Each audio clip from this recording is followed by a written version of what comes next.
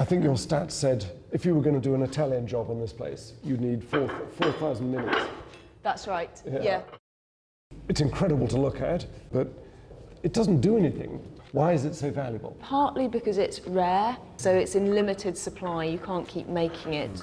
The gold here is a store of value. It is globally recognised, people want gold, so it creates a market in itself. It doesn't change value as much, for example, as currencies. This is a lot more durable than investing in chocolate or something like that.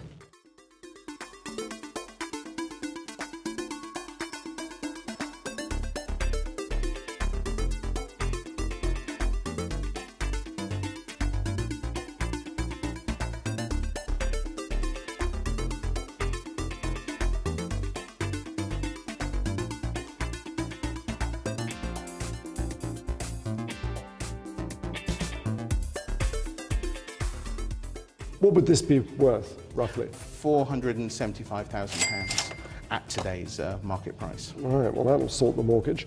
So most bars are in this, what we think of as a trapezoid form. Mm -hmm. It makes it easier to handle.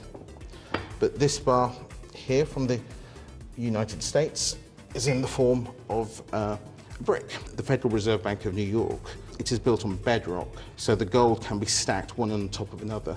Here at the Bank of England, because uh, it's built on clay, we have floor loading limits, which is why we have the gold in, in pallets.